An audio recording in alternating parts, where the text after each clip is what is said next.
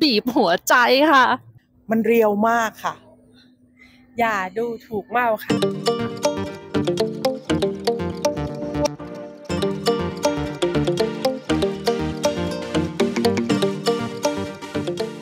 สวัสดีครับ ผมแอดโก้บ่นบ้าภาษาหนังนะครับครับผมแอดไก่นะครับบ่นบ้าภาษาหนังครับวันนี้เราสองพี่น้องเพจครับบ่นบ้าภาษาหนัง มาชมภาพยนตร์รอบสื่อนะฮะก่อนอื่นก็ต้องขออนุญาตขอบคุณทางค่าย Sony Picture โอ้ที่ดูแลเราดีมาตลอดให้หนังให้เรามาดูเพื่อที่จะได้รีวิว เพื่อที่จะได้เอ่อพูดคุยกันว่าหนังแต่ละเรื่องเป็นยังไง วันนี้เรามาดูหนังเรื่องอะไรนะครับดัมมันนี่ครับปั่นเงินรวยปวดโลกอ่าอ่าโอเคนะต้องอยู่โอเคหลายรอบครับผมเลยทีเดียว มันเป็นเรื่องราวเกี่ยวกับ ตลาดหุ้นเกี่ยวกับเอ่อการเล่นหุ้นของเอ่อช่วงโควิด ที่มีวัยรุ่นที่แบบตกงาน แล้วก็เออให้แต่ละคนก็เศรษฐกิจไม่ดีแต่ละคนก็แย่หุ้นมันกลายเป็นทางเลือกหนึ่งสำหรับคนที่มีมือถือ เพราะว่าการเล่นหุ้นสมัยเนี้ยหนังย้อนเอาขอย้อนไปนิดนึงแล้วกันนะหนังเรื่องเนี้ยจริงๆหนังเรื่องหุ้นอะทำออกมาตลอดที่เกี่ยวกับหุ้นเพราะว่าหุ้นอะชอบมีปรากฏการณ์อะไรดัง ๆ มาตลอด ถ้าย้อนไปเรื่องแรกเลยที่ดูก็น่าจะเป็นหนังของชาลีชีนกับไมเคิลดักลาสอ๋อโโหอันนั้นวอลสตรีทเลย Wall วอลสตรีทอืมเลยหนังเรื่องรายวุ่นวายเกี่ยวกับอ่าตลาดหุ้นเหมือนกัน แล้วก็อืมมาภาคสองอันภาคสองนี่ยอมรับว่าไม่ได้ดูอ๋อภาคสองภาคสองแต่ได้ดู Michael อยู่ Douglas ที่ก็มาเหมือนกันไมเคิลดักลาสกับอ่าอะไรนะใช่ไชไชอาไชอาเรื่องนั้นอันนี้ไม่ได้ดูก็โอเคนะก็โอเคไม่ไม่ได้แย่ครับผมได้ดู แต่แล้วต้องก็บอกว่าไม่จำไม่ค่อยได้แล้วนานแล้วก็ก่อนหน้านี้อันนี้ชอบมากชอบมากๆเลยหนังของคริสเตียนเบลเรื่อง The Big Short ว่าถึงเรื่องกับเศรษฐกิจในช่วงไฮแฮมเบอร์เกอร์ที่เขาเล่นหุ้นสวนตลาดหุ้นอืม ทำให้เขากลายเป็นรวยขึ้นมารวยแบบไม่ได้อยากรวยอ่านั่นก็คือปรากฏการณ์ในเรื่องของตลาดหุ้นอืมส่วนอันเนี้ยเป็นปรากฏการณ์ครั้งล่าสุดเมื่อปีอืม2021 ซึ่งว่าเป็นเรื่องจริงเออหนังเรื่องนี้สร้างจากเรื่องจริงด้วยใช่เป็นเรื่องของเด็กที่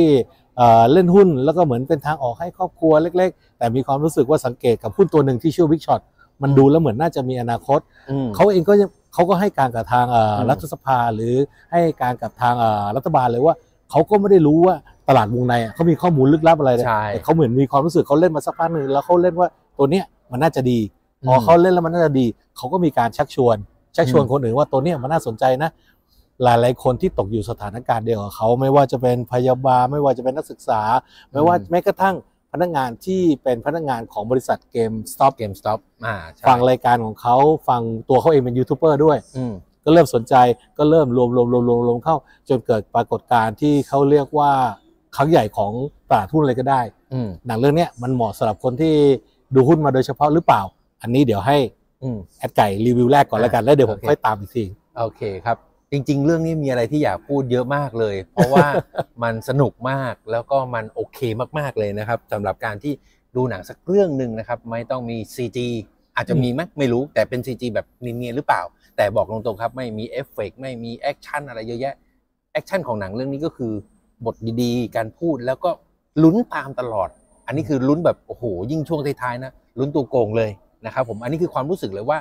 เมื่อกี้คือจบแล้วตบมือดังมากอ่าใช่เป็นหนังอีกเรื่องหนึ่งที่ไม่มีการ fake จบมาแล้วแบบอึดไม่อัดหรืออะไรไม่มีคำว่าอึดอัดเออแต่ละคนปรบมือพร้อมใจกันเลยอ่าแต่คืออันนี้คือรอบสื่อเนี่ยถ้ารอบธรรมดาคนปรบมืออาจจะดูแปลกอ่าแต่ก็คือรอบสื่อเนี่ยถ้าเกิดหนังที่โอเคเนี่ยเราก็พร้อมเชียร์เต็มที่อยู่แล้วอือฮึในส่วนตัวผมนะครับ หนังเรื่องเนี้ยอย่างที่บอกว่ามันมี Easter egg ขอพูดเรื่องนี้ก่อนกันลืมเอาเอาเลย Easter เลย egg คือแบบฉากนั้นอยากจะร้องอาร์กมากเลย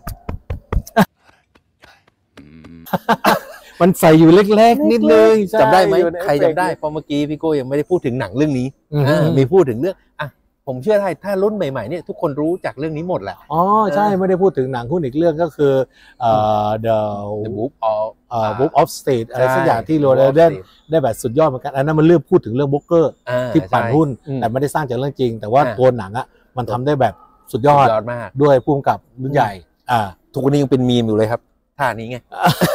อุ้ยเป็นเป็นเจ้าพ่อมีมเจ้าพ่อมีมไปแล้วนะครับ Leonardo แล้วก็ฉากนี้ลองไปดูนะครับ นี่ก็คือฉากเด็ดมากแล้วอืมมันเห็นมันนิดเดียวแต่แบบมันรู้สึกว่านี่คือ Easter eggโอ้ยหนังเรื่องนี้มีเอฟเฟกต์แบบนี้นะเออเอฟเฟกต์แบบ YouTube ที่ใช้กันอ๋อว่าใช่ตัดแปะตัดแปะอะไรอย่างเงี้ยเยอะมากโอ้ยถ้าอย่างเรื่องนี้นะมีเรื่องอื่นอีกมีอีกหลายเรื่องเลยถ้าเอาหนังไปตัดแปะเพราะมันเทคนิคของยูทูบเบอร์ที่ใช้วิธีเอาหนังมาตัดแปะตัดแปะอ่าอะไรอย่างเงี้ยเออใช่สนุกดีอ่าอะต่อสนุกต่อดีต่อก็เนี่ยครับผมในส่วนต่างๆ อันนี้ที่บอกว่ามันถูกใจสุดละ แต่เรื่องอื่นๆนะครับในเรื่องของความรู้สึกในการที่ดูมันมีอีกหลายสิ่งหลายอย่างเลยนะครับ ไม่ว่าจะเป็นเรื่องของอันนี้ต้องบอกเลยครับ เมื่อกี้เนี่ยคือคือเรื่องนี้เตรียมตัวเพิ่มแอบมีจดมาด้วยเนี่ย แต่จดแบบมืดๆนั่นแหละครับ เขียนเท่าที่เขียนได้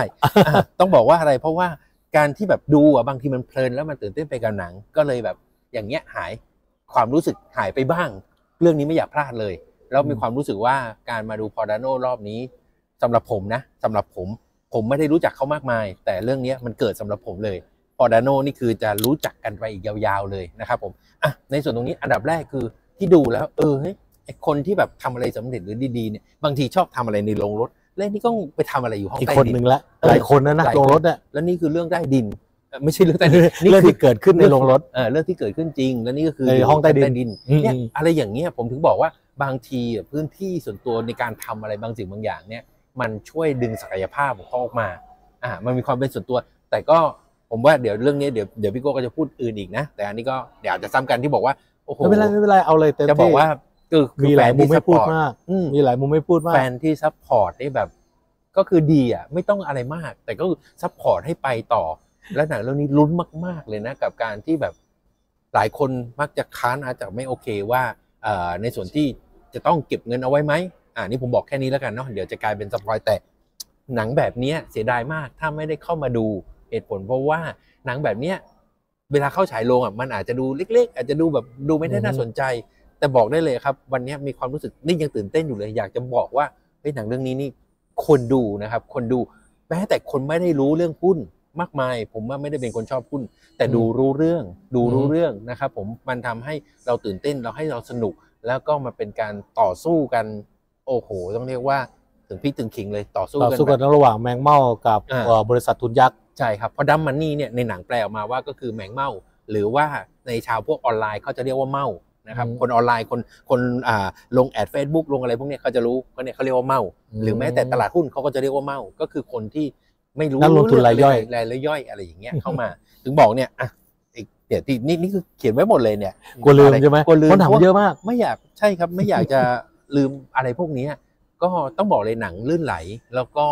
ในระหว่างดูไม่ได้รู้สึกว่าหนังมันยาวหรืออะไรเลย มีความรู้สึกมันลื่นไหลและติดตามตัวละครไปเรื่อยๆ มันเลยทำให้และยิ่งขึ้นเบส of two story ตั้งแต่แรกอือฮึมันเลยยิ่งทำให้อินแล้วก็เอาใจช่วยอะสุดท้ายแล้วเพราะว่าเดี๋ยวมันจะยาวเนาะอีกนิดเดียวคือ อันเนี้ยมีมีเพื่อนมาดูอีกสองสามคนเนี่ยแล้วคนที่รู้จักคุยกันเนี่ย พอดาโน่หน้าเหมือนในตัวจริงมากเลยนะฉากสุดท้ายอะอ๋อใช่ที่เอามาให้ดูตัวจริงเลยเพราะเขามีตัวจริงไงครับ แล้วพอดาโน่มีมุมที่เหมือนมากเลยอะโอเคเนี่ยก็คือบอกเลยเลยปลื้มมากเรื่องนี้อะนี่บรรยากาศความรู้สึกอะเชิญต่อเลยครับอ่าความรู้สึกของผมมากแล้วกันนะฮะอืมรู้สึกตั้งแต่เห็นเอ่อโปสเตอร์ครั้งแรก ๆ แล้วเฮ้ยหนังหนังอะไรวะเฮ้ยหนังหนังอะไรวะอะไรอย่างเงี้ย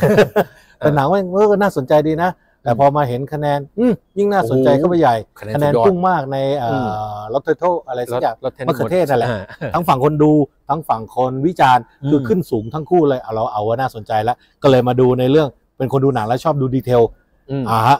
พุ่มกับยังไม่รู้จัก แต่พออืมมาดูรายชื่อนักแสดงนะโอ้โหโอ้ใช่ตัวตึงตัวตึงล้วนๆเลย ตัวพอดาโน่เนี่ยตัวตึงมาแต่ไหนแต่ไรแล้วอืมเมื่อต้นปีเราเพิ่งดูหนังของสเวซิเบิร์กอ่า ที่เล่นในเรื่องเกี่ยวกับอ่าประวัติของตัวเขาเองแหละอืมชื่อหนังว่าอะไรสักอย่างเฟนี่ยเบอร์แมนเออเฟเบอร์นะซึ่งเป็นหนังที่ผมปลื้มปริ่มเหมือนกันเพราะผมเป็นแฟนตัวยงของสเวเบิร์กอยู่แล้วติงสตีเบิร์กอ่าส่วนก่อนหน้านั้นก็เดอะแบทแมนนี่คือยุคหลังที่ทำให้คนรู้จักพอดาโน่ใช่ แต่ผมจริงๆอะคุยกับแอดไก่ไว้ตลอดว่าจะทำสิบอันดับหนังอืม Paul Dano แต่ด้วยเวลางานที่มันเยอะแยะเออเยอะแยะไปหมดเลย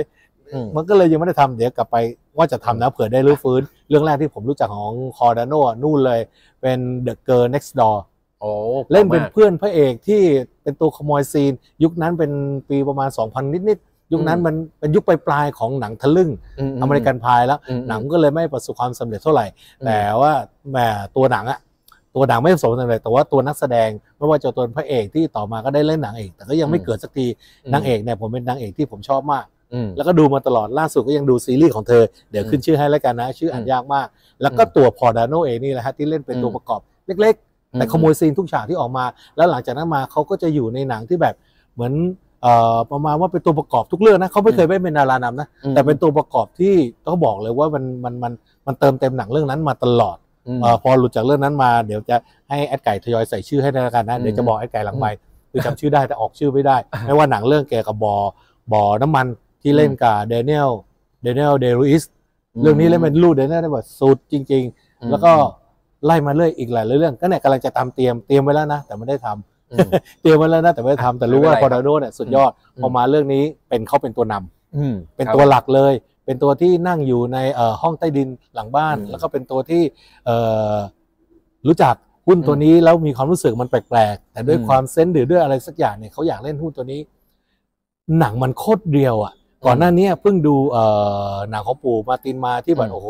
สับมาก คือหนังอืมยาวมากแต่ก็เดินหน้าตลอดเวลาอืมหนังเรื่องนี้อารมณ์แบบนั้น อืมแต่ก็ไม่คือยาวเท่าเรื่องนั้น แต่ไม่ยาวเท่าเรื่องนั้น แต่ว่ามันเป็นอารมณ์ที่แบบเดินหน้าตลอดเวลา ผมเป็นคนชอบหนังดูหนังที่แบบเดินหน้าตลอดเวลาอืมแล้วหนังเรื่องนี้เรื่องเรื่องเดินหน้าตลอด ทั้งทั้งที่เราเข้าใจบ้างไม่เข้าใจบ้าง ใช่อ้าวเรื่องบอกเรื่ตรงหุ้เลยนก็ไม่ได้เข้าใจภาษาหุ้นก็ไม่เข้าใจ เรื่องหุ้นก็ไม่เข้าใจ ข่าวนี้โด่งดังมากก็ไม่เข้าใจอืมแต่ด้วยความที่หนังมันเดินหน้าเร็ว ผมชอบหนังใช่แบบนี้ แต่ไม่ใช่หนังแบบรวบรัดนะ แต่หนังอ่าแบบเดินหน้าเร็วแล้วก็แน่นอืมแน่นทั้งเอ่อนักแสดงแต่ละคนที่ออกมานะโอ้ถ้าเป็นคนดูหนังเยอะๆ จะชอบเรื่องนี้เป็นพิเศษก็ว่าใหญ่เพอบอกแล้วว่านักแสดงกับตัวตึงหมดเลยไม่ว่าเป็นพอดาโนอืมตัวเมียที่เพิ่งผมเพิ่งพูดเมื่อกี้เลยอ่าอยากมีเมียแบบนี้แหละคือเมียที่คอย support แล้วคอยดันหลังอืมเป็นคนที่คอยเข้าใจ แม้กระทั่งวันที่ตัดสินใจซื้อหุ้นก็เพราะเมียอืมเออแล้วหนังหลายๆเรื่องนะที่แบบเมียมันคอย support อย่างเงี้ยดูแล้วมันปลื้มปริ่มอืมอืมแล้ว Shailene เล่นดีมากฮะอ่าฮะ Shailene หนังเรื่องเนี้ยใครชอบ Shailene หลาย ๆ เรื่องเขาเคยเป็นเหมือนกับดาวรุ่งที่แบบ ช่วงนั้นที่บอกอะไรเป็นดาวรุ่งที่แบบน่าจะมาแรงเหมือนดาวรุ่งสมัยนี้ แต่สุดท้ายแล้วด้วยด้วยตัวหนัง หรือด้วยตัวเขาหรือด้วยตัวอะไรสักอย่างมันทำให้เขาไปไม่ถึงแบบแบบแบบระดับที่สูงกว่านี้สักทีสูงกว่านี้แต่ใช่หนังแต่เรื่องที่เขาเล่นไม่ผิดหวังก็ก็โอเคนะ เรื่องที่ติดเรืออดิฟใช่ไหมเรื่องล่าสุดเออแต่ดิฟนั้นเขาทุ่มเทถึงขนาดเป็นโปรดิวเองด้วยอืมซ้ำอืมเป็นโปรดิวเองไปซื้อหนังสือโอเคนะจากเรื่องจริง แล้วก็มาสร้างเองอืมอืมหนังอาจจะไม่ตื่นเต้นเหมือนหนังภัยพิบัติ แต่มันอืมมีความรู้สึกแบบดูแล้วอิ่ม อิ่มใจอืมใช่แล้วก็ก่อนหน้านี้ที่เล่นกับจอร์จคูนี่เล่นเป็นลูกสาวจอร์จอ๋อคูนี่อ๋ออันนั้นเรื่องนั้นโคก็ดูแบบดูแล้วอิ่มใจอืมคือคือผมชอบอะผมชอบส่วนตัวมาตั้งนานแล้วถึงที่แม้ที่แม่จะเสียชีวิตใช่ไหมแม่กำลังจะเสียชีวิตอ๋อแต่สุดท้ายแล้วใช่ใช่เพิ่งดูมีความลับว่าแม่มีชู้เออนั่นหแม่ละมีชู้ก็ปไหนจะมีเรื่องของมรดกเอ่อที่ดินที่ต้องจัดการอืมเชลิวเล่นเป็นเอ่อลูกลูก ที่ไม่ค่อยจะถูกครองกันสักหน่อยกับชอตอืมโคนี่อืมซึ่งก็เล่นดีเล่นดีเรื่องนั้นเพราะฉะนั้นนะถ้าชอบเชอริวเรื่องนี้ก็เป็นอีกเรื่องหนึ่งที่เธอเล่นดีมาก แล้วจะให้ตัวไล่ตัวนักนักแสดงนะแต่ละคนใครจำใครจำใครจากบทไหนเรื่องไหนมามาดูแค่ตรงนี้ก็สนุกแล้วฮะไม่ต้องรู้เรื่องหุ้นหรอกคือต้องบอกเรื่องนี้สำหรับผมมันคือ Easter egg เยอะมากใช่แค่มาดูว่าเฮ้ยไอ้นี่จากเรื่องนั้นไอ้นี่จากเรื่องนู้นใช่แล้วแต่ละคนปล่อยของสุดใช่ๆเป็นหนังเล็ก ๆ ที่เอานักแสดงมาปล่อยของมันเป็นอืมการรวมดารา มันให้อารมณ์เหมือนตอน Big Short ที่ผมชอบดูเลยที่อืม Christian Bale คือแต่ละคนเขาพร้อมใจที่มาเล่นหนังเล็กอืมเขาไม่อยากได้เล่นหนังฟอร์มยักษ์แต่เขาอยากได้หนังเล็กที่มีบทอืมที่ถึงที่เรื่องเนี้ยบทถึงแน่นอนเลย เพราะฉะนั้นอืมดูแม่งเออเออเออนั่งดูไปกับหนังอมยิ้มไปใช่ไหมกูรู้เรื่องไหมอย่างไม่รู้เรื่องอย่างที่บอกอะไรนะพระเอกทันฟอร์เมอร์เออเป้ทำไมก็เวลาติ๊กต็อกเป้ทำตามพี่ เล่นเล่นเป็นคนไหนดูเอง เออเอาเอาเอางี้กัน ให้เรียกเองว่ามีใครจากไหน แต่ไม่บอกว่าเล่นเป็นใครให้ไปดูในหนังเองแล้วกันใช่อะมีพระเอกมีพระเอกทำฟอร์เมอร์ภาคล่าสุดโอ้เต้นเล่นได้ TikTok เจ๋งเจ๋งมากเล่นได้เจ๋งมากเออมีเอ่อคู่เกย์คู่รักเกย์ที่แสดงเอ่อแสดงได้แบบดีจนเป็นตอนที่ซาบซึ้งสุดๆของ The Last of Us อืก็มาเล่นเรื่องนี้อืมเออไม่กระทั่ง Bucky ก็มาเล่นเรื่องนี้ Bucky นี่คือแบบโอ้นี่ไม่ธรรมดาเออ Bucky มาเล่นเรื่องนี้ Kingpin ก็มา Kingpin เอาคนหัวโล้นเลยอ๋อเออคิงพินก็มาเอาไปดูเองไม่บอกคนไหนอืมแล้วก็แม้กระทั่งเอ่อ Seth Rogen โอ้เซโลแกนนั้นเห็นหน้าตั้งแต่ฉากแรกผม happy แล้ว ผมชอบหนังเขาปกติเขาจะเป็นตัวเก๋าตัวเจ๋งเออแต่เรื่องนี้เขาเจ๋งเออไม่เอแต่อเนี่ยแค่บอกว่ามีใครมาบ้างเรื่องเรื่องเป็นไง ไม่ต้องรู้ละอืมโอเค Seth Rogen นี่กลายเป็นกลายเป็นเอาจริงนะหลักๆแต่ว่าอนาคตต่อไปอะ Paul Dano ก็ไม่ต่างจาก Seth Rogen นะคือเป็นอืมตัวประกอบเขาเกิดจากตัวประกอบนะ Seth Rogen อืมอืมเป็นตัวประกอบเป็นตัวหนังเล็ก ๆ ด้วยครับ แต่นับวันยิ่งเก๋าขึ้นเรื่อยเก๋าขึ้นเรื่อยอืมสะสมบารมีได้สุดยอด Paul Dano ต่อจากนี้ไปนะ นับวันนี้เขารับหลังรับรับหนังมาเนี่ย ถึงไม่ได้เป็นพระเอกก็จริงนะจะบทน่าจดจำบทแน่นบทน่าจดจำอืมทุกเรื่องเลยนะอืมสัญญาว่าจะไปรวบรวมสิบอันดับมาให้ได้โอเคลองดูโอเคโอเค Seth Rogen นี่ที่ชอบสุดจะชอบเรื่อง Long Shot อันนั้นคืออตอนแรกไม่ได้รู้จักคือเห็นหน้า Seth Rogen มานานแล้วอืมๆไม่ได้สนใจ แต่พอไปเจอ Long Shot ที่เล่นกับอ่า Charlize Theron อ๋อโอ้ยผมดูสามสี่ห้ารอบผมถูกใจมากเออฮะคือเขาถูกใจเล่นข้งใเป็นอยู่แล้ควนธรรมดาได้แบบอืมธรรมดามาก ซึ่งใช่ดาราแบบเนี้ยยาวๆนะ พอดาโนก็เล่นเป็นคนธรรมดานะอืมไม่ได้เล่นเป็นพระเอกมาสเท่หรือว่าใช่ดูดี คนเท่ๆเรื่องเนี้ยมาเละตุ้มเป๊ะก็เยอะแต่ตัวพอดาโนเขาเล่นเป็นคนธรรมดาได้แบบอืมดูดีดูดีมากอะอืมๆบอกไม่ถูกเหมือนกันว่ามันดูดีแบบแต่ไปเล่นเป็นคนธรรมดานี่แหละเป็นคนธรรมดาที่จับต้องได้อ่าเออนั่นแหละอะก็โอเค ถือว่าเป็นอะไรที่แบบตื่นเต้นแล้วก็สนุกมากจริงๆอะมีอันไหนอยากเบิกอยากบอกอยากเสริมไหมแต่ถ้าถามอ๋ออีกเรื่องหนึ่งมเมื่อกี้เกือบลืมเลย ความรู้สึกแบบเนี้ยมันกลับมาอีกแล้ว หนังเรื่องนี้นอกเหนือจากอะความเป็นหนังอะ ผมอืมได้บอกเลยว่ามันโคตรเร็วมันโคตรสุดนักแสดงนี่ไม่ต้องพูดอืมถึงสุดทุกคนอารมณ์แรกที่ออกมาจากโรงหนังนะ มันให้ความรู้สึกเหมือนตอนผมดูโคตี้อักลี่เมื่อปี 2000 เลยมออกมาปุ๊บอยากซื้อซีดีซาวแท็กคือมันอยากแบบฟังอีกมันอเอยากอแบบเพลงเพราะได้ทุกรู้เพสึลกงอีกอะไรเราใส่เงี้ยเพลงเยอะมาก เพลงเพราะทุกอืมเพลงแม้กระทั่งดันเพลงเอ็นเครดิตเราเป็นคนชอบฟังเพลงอยู่แล้วแล้วอืมนานแล้วนะที่ไม่แบบดูหนังแล้วเพลินกับเพลงอะบางทีมันอืมใส่เข้ามาก็จริงนะ ให้อืมฟาสต์ด้วยใส่เข้ามาแรกๆอะเขาเคยขายเพลงได้แต่หลังๆบวมรับเลยว่าโอ้อืมโหอืมแต่เรื่องเนี้ยเพลงเพราะทุกเพลง อารมณ์แรกที่ออกมานะ ให้อารมณ์เหมือนตอนดูคุณตี้เฮ้ยแต่สมัยนี้มันไม่ต้องหาซื้อซีดีแล้วไงอ่าเดี๋ยวก็หาฟังกันเองแล้วกันดี๋ยจะเป็น YouTube จะเป็น Spotify อ่าแล้วแต่ความสะดวกแล้วกัน แต่บอกเลยว่าเพลงเพราะมากอะอืมโอเค นี่แหละก็เป็นภาพโดยรวมแล้วก็หนังสร้างจากเรื่องจริงมันเลยยิ่งทำให้รู้สึกลุ้นและติดตาม และอารมณ์ช่วงมันพีคท้ายไงก็เอาคือบทพูดหลายบทคือก๊อปปี้เพราะว่า เป็นช่วงโควิด หนังเกิดช่วงอือฮึโควิด มันเลยมีการบันทึกวิดีโอไง มันมีอืมการสัมภาษณ์และคนทั่วไปก็ได้ดูในตั้งอ๋อแต่จะเป็นเขาเรียกว่าคนติดตเขาเรียกว่าเรียกไปเอ่อสอบสวนมสอบสวน โดยรัฐสภาใช่แต่ไม่สามารถที่จะไปที่รัฐสภาได้ช่วงโควิด มันก็เลยกลายเป็นอืมเหมือนซูมใช่เหมือนการใช่เป็นการเอ่อสอบสวนผ่านวิดีโออมมันเอาแล้วเอาเอาเอาเอาเขาเรียกอะไรเอาเอาช็อตพวกนั้นอะมาอ่าใส่ไว้ในหนังให้ดู อืมใช่ แต่ก็คือในบทหนังจนจบแล้ว อันนี้ก็เหมือนแบบ